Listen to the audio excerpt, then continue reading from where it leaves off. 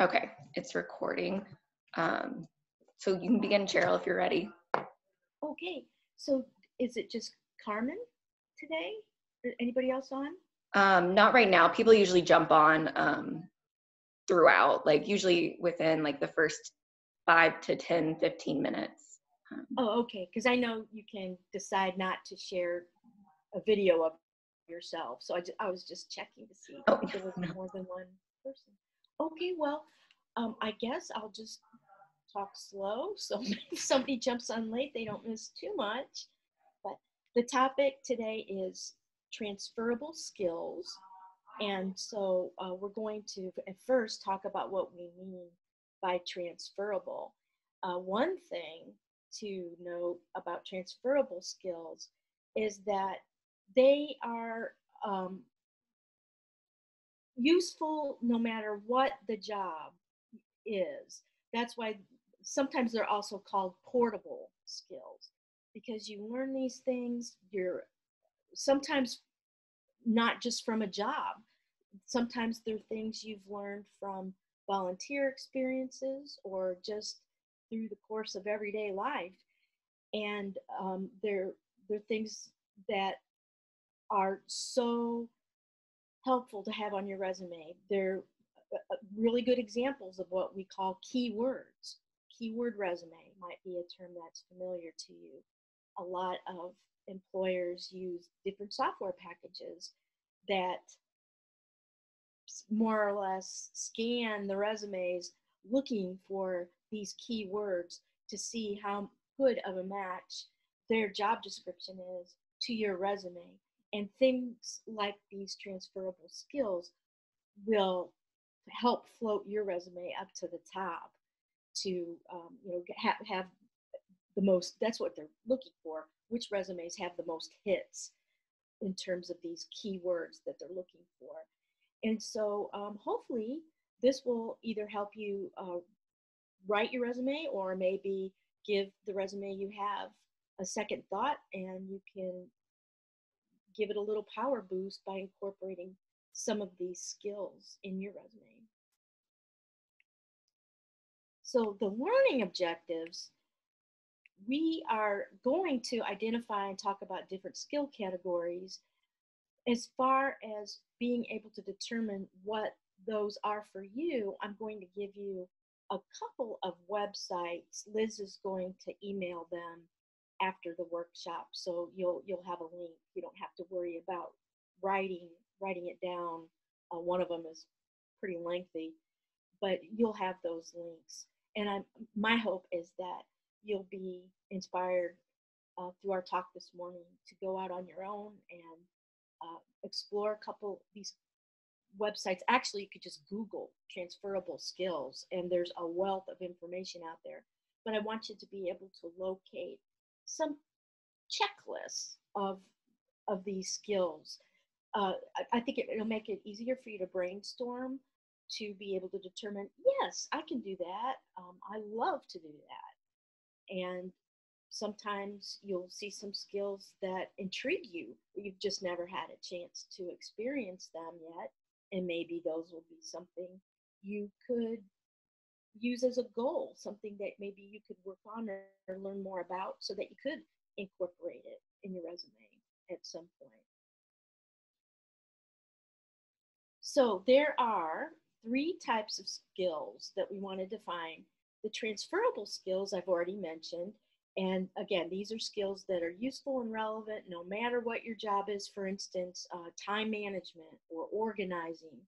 Uh, those those are skills that it doesn't matter whether you are a customer service employee or you are working at a library or some some kind of office job organizing and organizing your resources and managing your time are very important skills to have, even though those were just three very different examples of jobs I mentioned. Self management skills, these are your ability to handle yourself in different work environments. Uh, sometimes it also can be a determination of the kinds of jobs you're attracted to. For instance, if you're a very, very extroverted social people person, maybe jobs where you're going to be in a cubicle all day without much contact with anyone might be draining for you. It might be something that wouldn't be a good fit for you. However, on the other hand, if you're someone who really needs that alone, quiet time to be able to concentrate and work more efficiently, well, then maybe you would be wanting to really take a look when you go to the interview at the work environment. Uh, maybe even consider a working at home position if you really prefer to work more alone.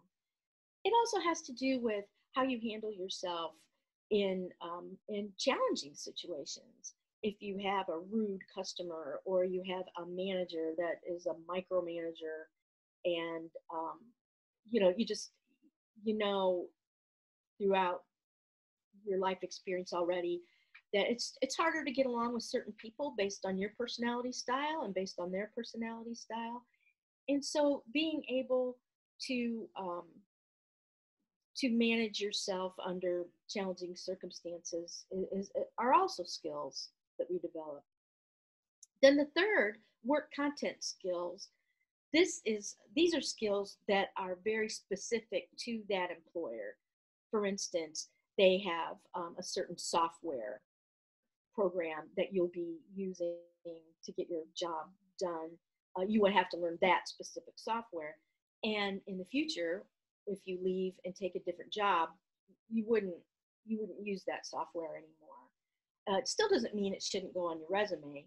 It's just something that that you don't dwell on and you know it, it's listed under the employment section of your resume. If they ask a question or there's something important about it that you want them to know you briefly talk about it. But it's um, it's definitely nothing that you could take with you to the next employer so then the strongest skills you have in each of these three categories are really important in your career development uh, but these transferable skills are the ones that you can really use to market yourself. They're the constant factors that you can rely on no matter where you're working.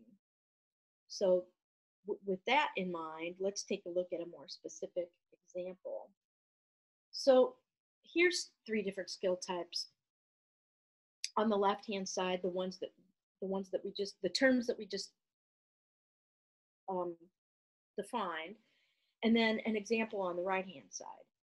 So again, transfer, a transferable skill example, one would be time management. And um, this is something also, of, of, course, you know, it, would, it could be in your resume as one of your strengths, but then something that you could really talk about too. That, for, for instance, um, maybe you've been noted for having excellent time management skills on past performance reviews those past performance reviews, if you can get your hands on them, if you could contact an employer that is still in business, that uh, you know the, the, HR department is typically more than happy. Uh, the, you know, files typically go way back, at least seven to ten years, and they they can you know usually get their hands on it pretty easily, e- even if it's well, most people are putting everything like you know, scanning documents and everything's electronic. So most companies can get their hands on it pretty quickly for you. Could be in a file box, may take a while, but usually most employers are pretty agreeable about trying to, to get those to you. They're real helpful for writing your resume and for jogging your memory about different situations that you were really noted as a high achiever and it'll give you some some good things to talk about. Because you know you want to be a storyteller when you're on an interview so you want to give examples. Then um, a self-management skill perhaps related to time management if you're really good at managing your time that probably means you value a structured work environment where you have a to-do list and you have things mapped out at certain times of the day and it's important uh, to in order to do the work efficiently that it is a very structured work environment that would be that would be something that uh, you could probably pat yourself on the back for that you are you, you, you very much thrive in a structured environment. Um, a work content content skill specific to the subject of time management would be being able to use a software program like Microsoft Outlook. Uh, most companies, it is what everyone's still using for email, but there's a lot more to Outlook than that. You know, there's the calendar and um, and the task lists.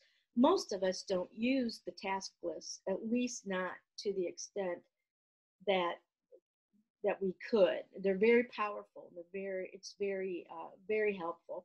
But at least most of us use the email and the calendar, and it's easy, you know, to drag an email over to your calendar. And um, I, I, know um, I, I love when I'm able to work where I have two screen, two monitors, and I'll usually have my, you know, my calendar open at least on a partial screen almost all day to glance to glance at things and see what's coming up. Okay, more about, let's see. Hmm, I think my screen's frozen. Can you guys hear me? Yep, I yes. can hear you. Okay. For some reason, my PowerPoint, let me try to, let me stop share and then get back into it. Okay. Sorry about that. Oh, you're fine. It froze.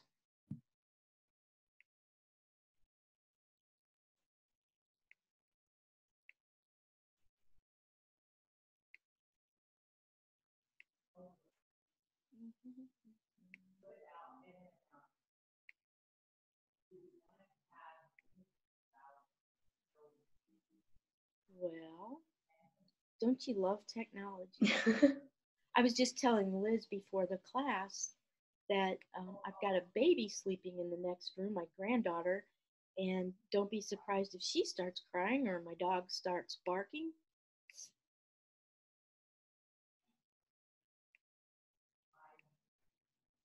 Okay, let, let me try this again.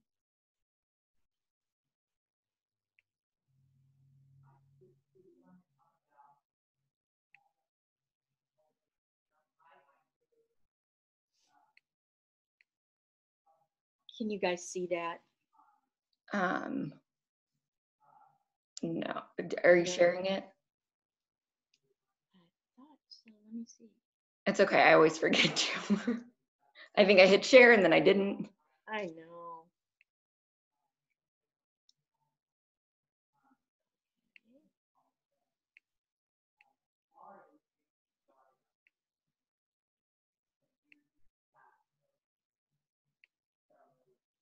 Yep, see it. Okay, good.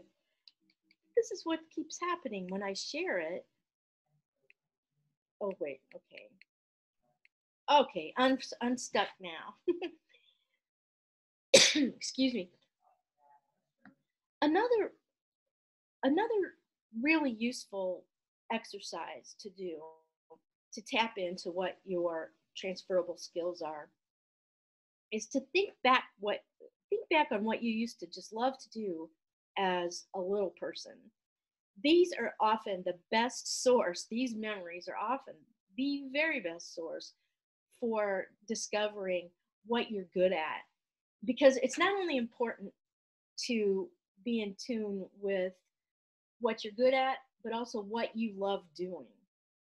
We often a term that's used for these skills are we like to call them your motivated skills not only are you very proficient, you love to do it. You get energized by doing it.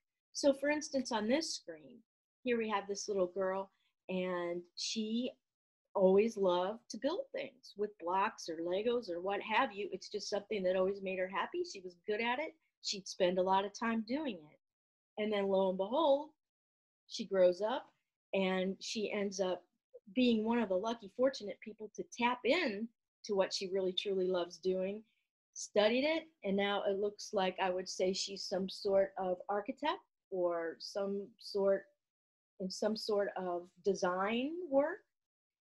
These again, they show up early in life, and sometimes we just take it for granted. You know, maybe you have a, a real knack for music, but you just take it for granted. You think, oh, you know, everyone everyone could play the piano or everyone could sing well, perhaps maybe you were destined to be a music teacher. You know, you just it it depends on um, you know every, they're going to be just unique for every every single person, and it's just it's only something that you can determine. But in addition to various assessments and things that you can that you can do read about, take a, an assessment. Also, going back and dwelling on what you really love to do can be very insightful. So, in this instance, her transferable skill was using mechanical abilities and being very good at that. This is what we call a transferable skill wheel. And what we do is we take a transferable skill and then we brainstorm what what are some of the different things that that I could do and get paid for that uh, that incorporate organizing. So here's an example where and, and you could you could have way more than the four I'm suggesting here. You could go on and on with this. But for instance, if you are very good at organizing and you like that kind of process, working in inventory. You know, all different kinds of businesses have inventory, retail, manufacturing, and it's very important to have that inventory very well organized so they know when they need to reorder or when they need to start manufacturing more of something. So inventory control is um, is a, is one example. Event planning. A lot of companies hire event planners. I actually that was one of my jobs a few years ago. I worked at IUPUI and I helped put together all these events for the new professors who were trying to get tenured. They had to go to all sorts of training classes and and then we also had a lot of different social events so they could network and meet other people in different departments. And um, uh, hotels are another example of uh, a business that hires event planners because you know people book hotels for things like weddings and family reunions and class reunions and so most hotels um, have event planners administrative assistant that is a job that is pretty much organizing people and things you know from eight to five you're helping whoever you report to you're helping them with their calendar and appointments and scheduling rooms and uh, sending reminders to people. It's it's all day organizing. Home organizer. Uh, that's actually a job. I wish I could afford to hire one myself. I mean, there are people that typically they are self-employed, and you can hire them to come in and organize your kitchen drawers, organize your closets, it's uh, uh, have you heard of uh, oh i'm forgetting her first name now very popular kondo is her last name marie kondo and uh, she wrote a book called uh, the something about tidying up and she has a netflix series and that's what she does she goes into people's homes and she helps them um, get you know decide things to donate to charity or to sometimes just throw away and uh, then how to reorganize those rooms. So it's it's actually a very popular uh, occupation right now. Anybody uh, have any other examples of of a position where organizing would be a good skill to to have and to showcase on your resume?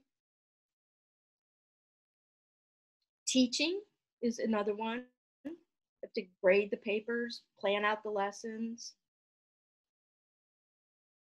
Okay. Here's an example of a checklist. You find a lot of these things on the internet where you can um, print it out and then go through the different skills and check them if you've had experience with it. But then, what I always recommend doing, just having experience at it doesn't necessarily mean it's something you really want to showcase on your resume. If you don't like doing it, you know, you're burned out on it. you don't want to get pigeonholed.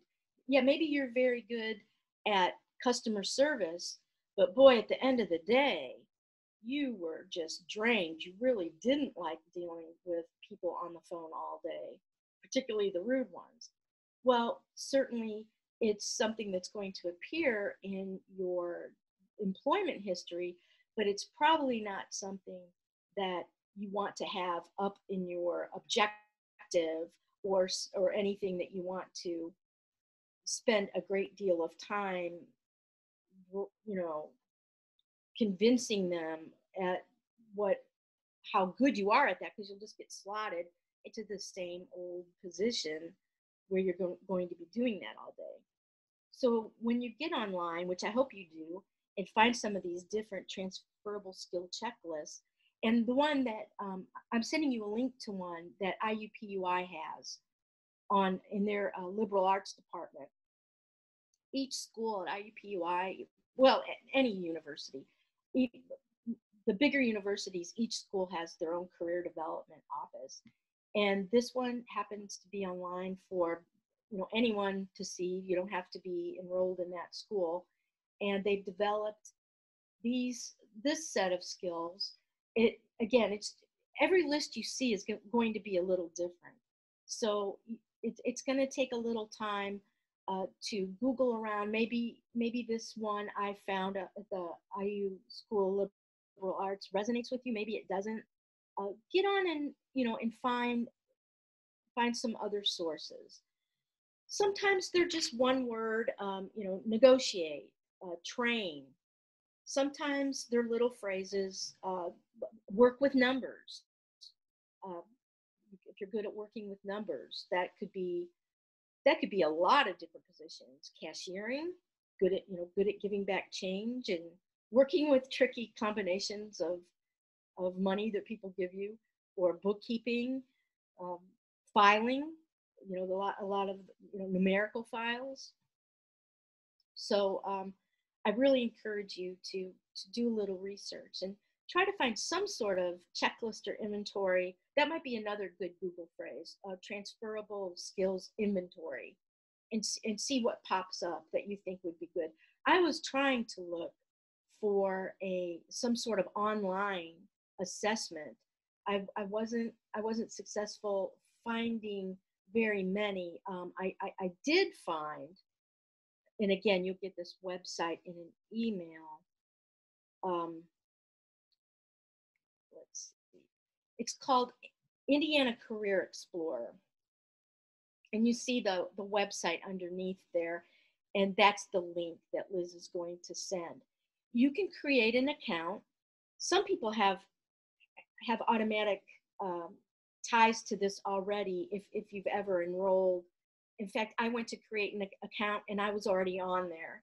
And probably I'd created an account and just forgot about it in conjunction with a position I had um, many years ago uh, doing career um, career management at Indiana Farm Bureau. I probably created an account for myself so that I could show um, the participants in my workshops. So um, if it says that your email address is already being used, maybe you have had stumbled um, on it before through a school or other training um, just they'll they just let you reset your password and you're good to go. But they do have some um, some uh, good assessments on here. I really i highly recommend it. Um, and also if you're a workforce one client i believe you may automatically be enrolled in this. But it's a very uh, robust site and they they definitely have uh, a section dedicated to uh, transferable skills on here that I think you'd find really helpful.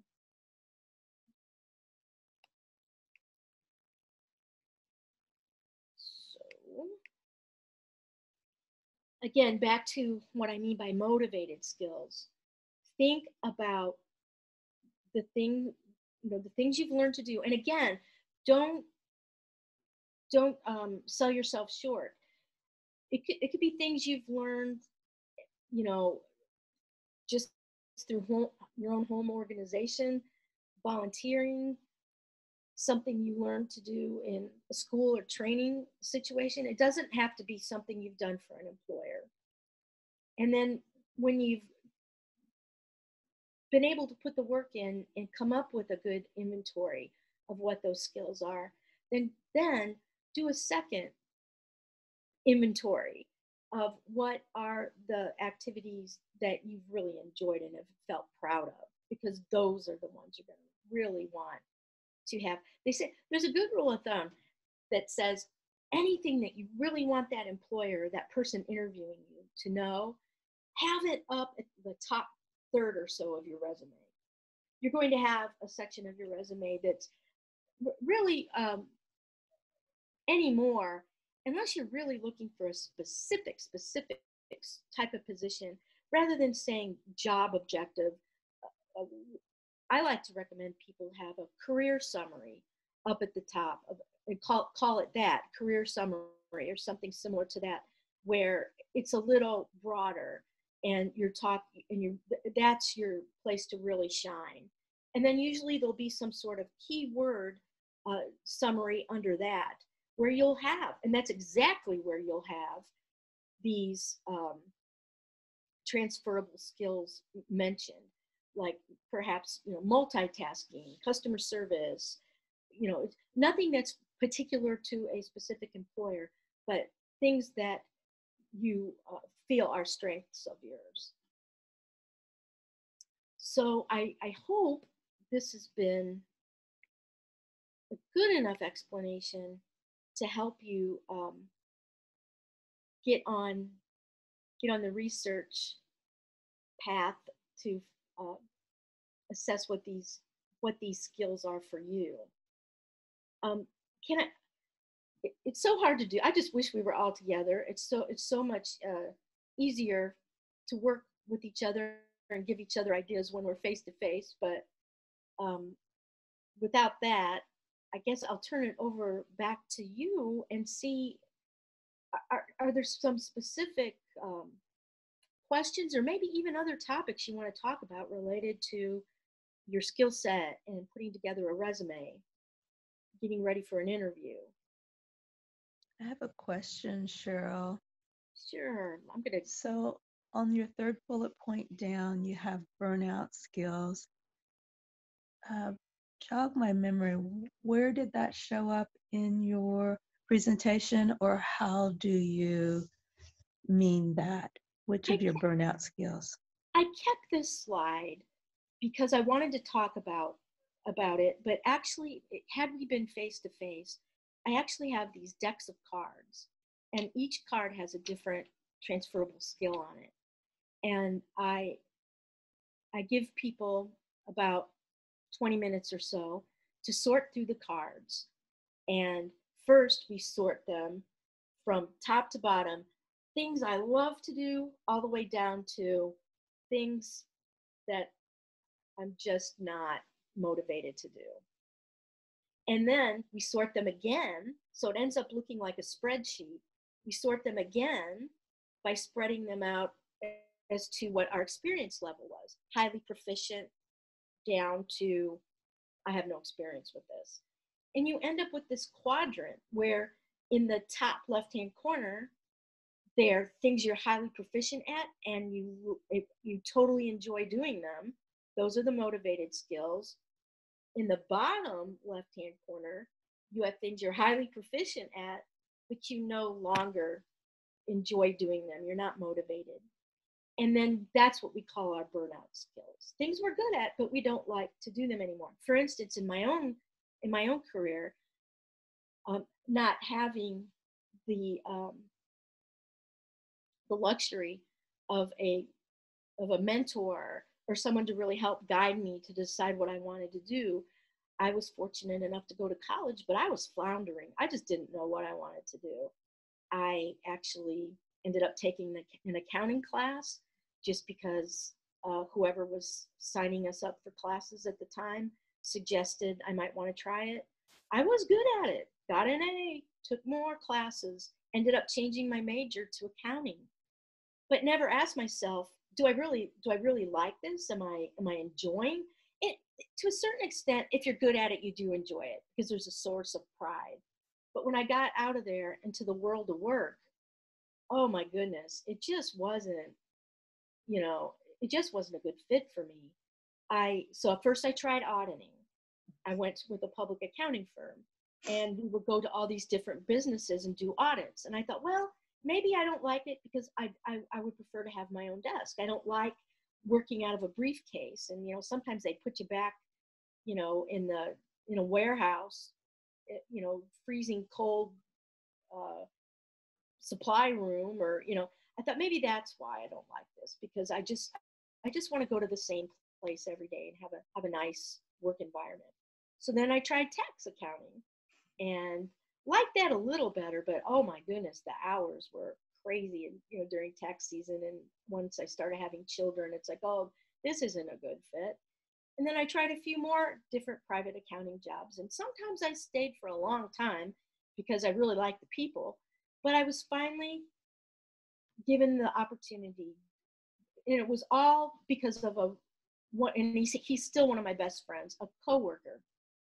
And we were at uh, we were at i was working in a trust department at a bank and so was he as an administrative uh, person and all the banks were starting to gobble each other up this is back in the 90s and um, we had gone through our fifth merger and finally uh, they weren't going to keep us uh, bank bank one had bought us at that time and they were also a big presence in Indianapolis. I was with Indiana National Bank, except we kept changing names, and uh, just we could both big trust departments right in the same across literally across the street from each other. We're not going to survive, and so they let all of us go, and uh, so the bank started this outplacement department, and um, to help people do the resumes and learn interviewing skills and um, and um, that was you know just going to be temporary.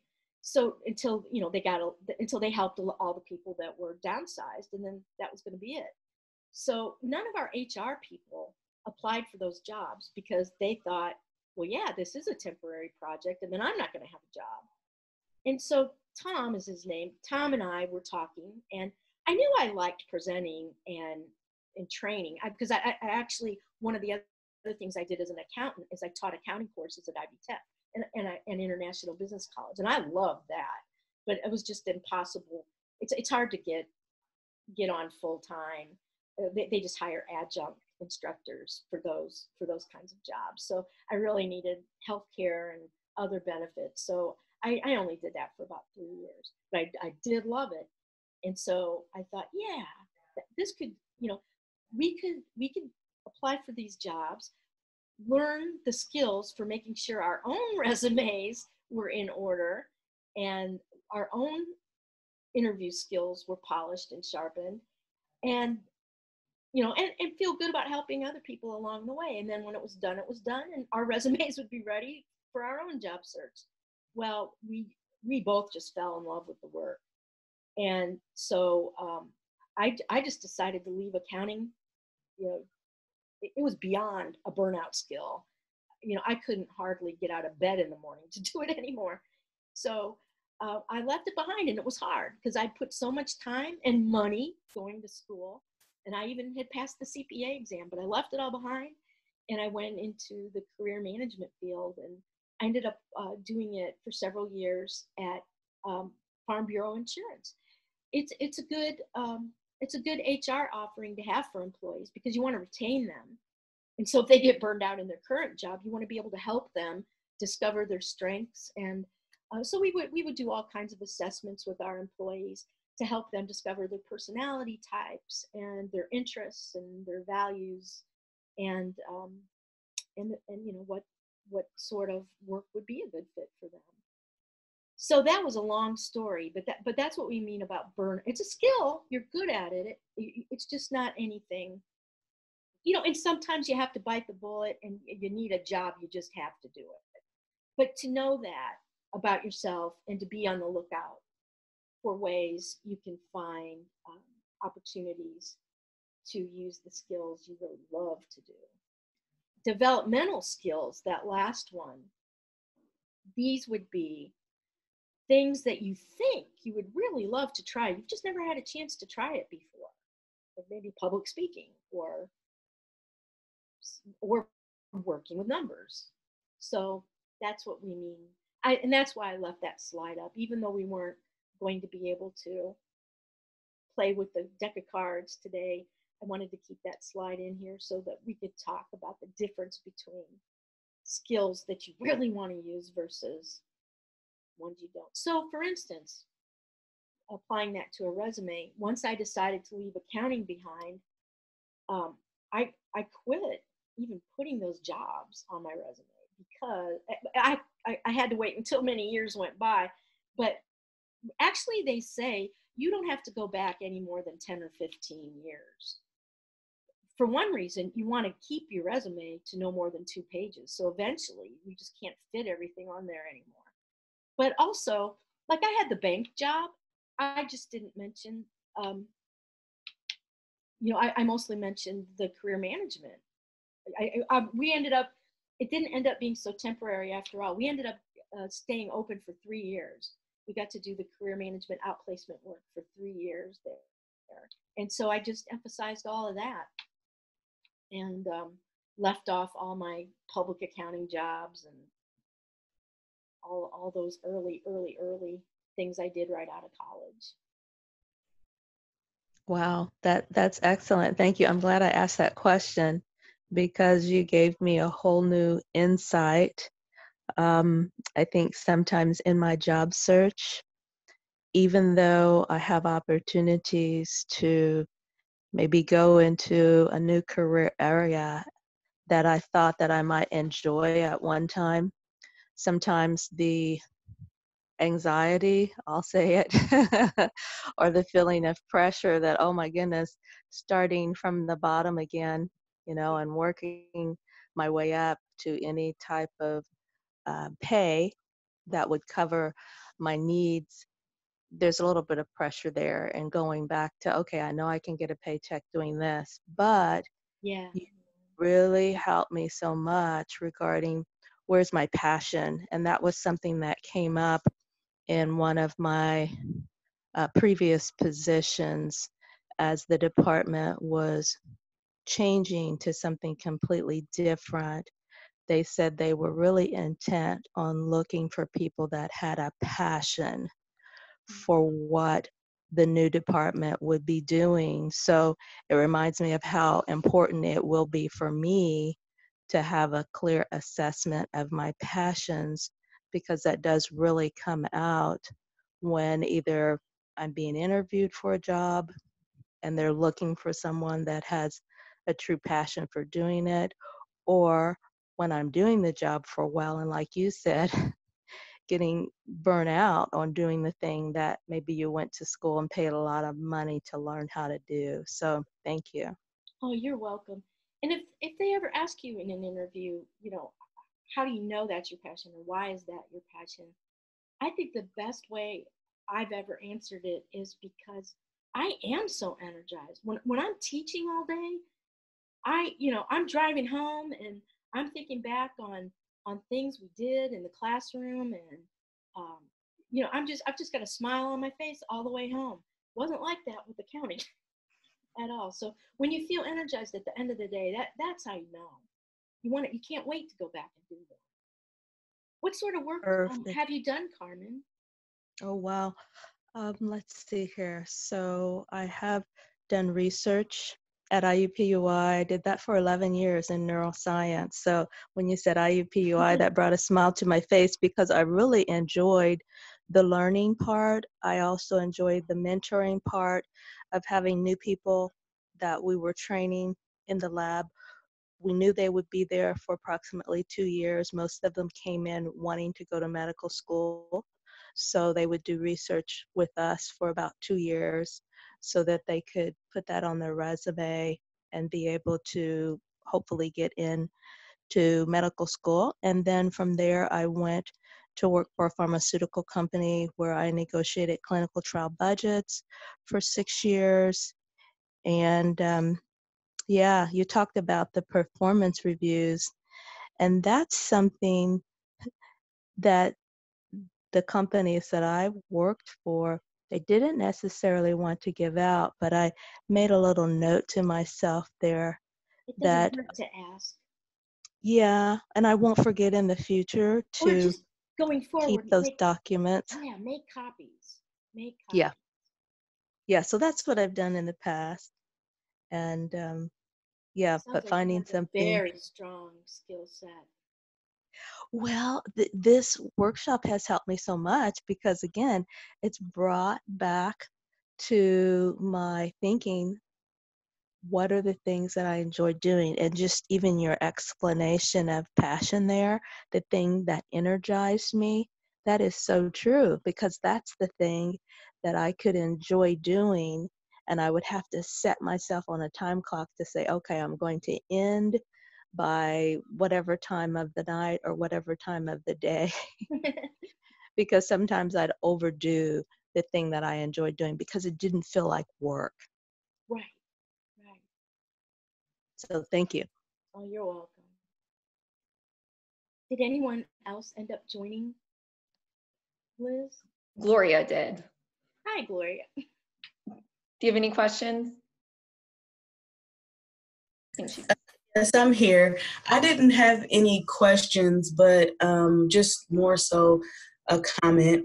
Um, I really appreciated the presentation, and I've been liking all the workshops so far. I think this really helps to encourage individuals getting back into the workforce um, and giving them some very detailed, in depth knowledge on how to um, go about getting back into the workforce. Um, I did have a question to know if any of the workshops that are planned going forward will have any discussion about um, negotiating pay as um, when you are getting into those positions because one issue I've ran into is you know your worth, you know that you're very capable of doing a job, but sometimes you are scared to negotiate a, a different amount of pay and like skills to how to combat that and how to go into an interview or an opportunity to negotiate a good wage. Definitely. Um, I don't know if we're going to cover that in this series, but I can ask Tiffany because I think that's a great topic. Um, I've come across that as well in my experience, and it's never um, i never know how to start that either so that would be yeah you know it's it's definitely it's definitely a topic it might not have its own workshop but it mm. gets touched on in the interviewing uh, and also you know you're available well i don't know when we'll be able to do face-to-face appointments but i think dress for success has a plan going forward for when like you'll be doing appointments with people? I think July 7th, we're thinking um, we'll have in person um, workshops. You can make an appointment with Tiffany and do some one-on-one like like practice you know and i mean it does and it doesn't have to be role play it could be i, I suppose if you wanted to but you, you could run by her um, what you know how you think you would handle the, the salary question. I will tell you just uh, just just briefly because I know we're running up to almost an hour. Try to try to not be the person to bring it up first. Um, don't sell yourself short for sure. I that's oh man, I, I this is not anything I've ever been good at either. I think as women, um, we tend to just be more submissive in that conversation for whatever reason. Like we're just thankful to have the job. I don't know, but I, I, I don't know very many women who say they are excellent at negotiating a salary. So don't feel like it's you alone. We all struggle with this. But they say you, you want the employer to think that what's most important to you is is this going to be a good fit? What do you need? And I have the skills you you need and, and it's going to be a good fit. Make that be the highlight of the conversation. Usually um, they will bring it up maybe not at the first interview but but just don't you be the one to bring it up first. And they'll say well what kind of salary are you looking for? And d- don't be very specific. Um, uh, i don't you, you can again you can google salary negotiation and read all kinds of good articles and you'll come up with a way to phrase it that that matches your personality. But basically you want the reply to be something along the lines of well i've you know i've I, have i am sure uh, i'm sure you know you I, w- I would i want to be paid fairly based on my experience and and um and show them that you've done some research. Real good website it's called salary.com and skip through the ads you're going to get all kinds of little ads that try to entice you oh for 9.99 none, click here and you can have the premium version. don't need it. Just click through all that and get on salary.com and you're able to put in the zip code so you could get salary information for a certain job title um, for our area of, of the Midwest. And, you know, again, it's zip code driven. So even for Indianapolis, and it'll give you a range. It'll give you a low, mid, and high range. But make sure um, you put in a good job title because sometimes it'll there'll, there'll be things like administ- administrative assistant one, two, three, and you know if you you've got to be honest with yourself and you know how experienced are you? If if you're a if you're a beginner in the career, then you're gonna you're gonna want to put in that level one job description and get that range. But if you truly have the years of experience under your belt, don't sell yourself short and go with the level two or the level three. And you know but make sure you read the description carefully. And then and then you can get you know because they'll press you. They'll, they'll want to know. Because if you're out of their range they don't want to waste your time or their time. But but if you know if you give a range a wide enough range you're not going to hurt yourself and you still put it back on them to make to you know to but uh, uh, I don't know they I've been on the HR side of things for five years with a manufacturing company. And I'll tell you, it's so hard. It, it really is hard to find good people that, you know, you just know, you, you just hit it off with them or you don't. And I would say most HR people I know really don't try to lowball people. They don't want to, you I, I, they're out there. I'm not going to say it never happens, but they want to give you a figure that's going to be enough to make you say yes. You know, if they want you, they want you to say yes. So don't be afraid to uh, to not give that lowest of the low numbers because they'll they'll make you an offer hoping you'll you know hoping you'll say yes and don't be afraid to come back with well i've you know if you know i've had people do that all the time and i usually either meet them halfway or if, to tell you the truth if i'm really really desperate I'll, I'll give it to them. So it's they're just sometimes they're just as nervous as you are on the other side because they really want you to say yes and they're afraid they're going to turn you off with with a low ball figure. Thank you. I just went I just rambled on and on on that one. No, it's really helpful. Um, does anybody else have any more questions? I do have one more question. Um, I wanted to be really clear on where Cheryl is suggesting that we include the comments about transferable skills. I have my resume set up where it shows the um, professional summary and then my key skills, and then my professional experience. So, where in there do you believe it's the best place to uh, weave in the verbal skills? You know what? I'm going to try to screen share again and show you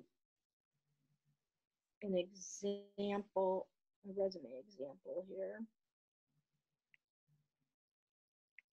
And I also wanted to share that on a few of the other workshops, I think that Cece did um, with Dress for Success, we did address, or she did address, the uh, salary negotiation and um, how to approach that with comments, just like you did, Cheryl, about, well, if I have this specific certification or if I have this many years of experience, and having that um, time for the employer to give you an idea of whether or not you were in their range. So you might look back at those resources. Oh, thank you, Carmen. I totally forgot that she did that. I think that would be on our YouTube um, channel. You're welcome.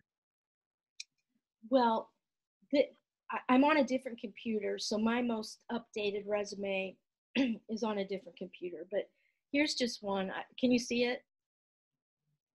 Yes. Yes. You see where I have that professional summary paragraph? I would I would probably like like my um, my transferable skills are you know facilitation instructional design training development so i have it in my professional summary but the one thing my resume doesn't have that we suggest now and you'll see examples in in, in the different workshops is right under professional summary i would have a section called keyword summary. And then i would probably have like four columns probably like four columns maybe four lines. And i would say things like microsoft you know things that you really want to catch their eye um, specific software programs and then these transferable skills that you that you have. I tell you the best way to get your keyword summary is read, read a lot of job descriptions and and use the same language uh, the jobs that you're really attracted to the, jo- the job descriptions are going to overlap with the same sort of things. Like people that are looking for training and development people like me they're going to have words like instructional design um, and and um, how it's really important to know how to do powerpoints and you know different different tools that that, that we use in the trade and so you want to be speaking their language so I, I'm, I'm sorry i didn't have a good example to show you but but in between professional summary and professional experience would be this what we call keyword summary. And it's just a list okay, of all right. skills. Perfect. So you're saying that we put those transferable skills in there. And they'll probably also Thank be you. part of your work history. You know, so you see all my bullet points um, after my various uh, job titles. They're they're in there too you might have a, a, a transferable skill mentioned three or four times, and that's Okay. good because especially these software programs that look for the resume, like I- like I used Indeed when I was doing HR work. Um, you know, people use Monster, Career Builder. All, Zoom is a real uh, popular one now. I, no, not Zoom. ZipRecruiter. this is Zoom. Uh, ZipRecruiter. I knew it started with a Z.